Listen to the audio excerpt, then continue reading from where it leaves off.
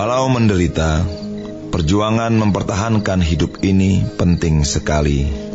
Ambisi itu perlu, asal diri bisa mengontrolnya.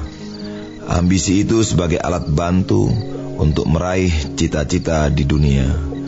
Ambisi adalah bumbu penyedap yang kalau kebanyakan bisa menjadi racun yang mematikan.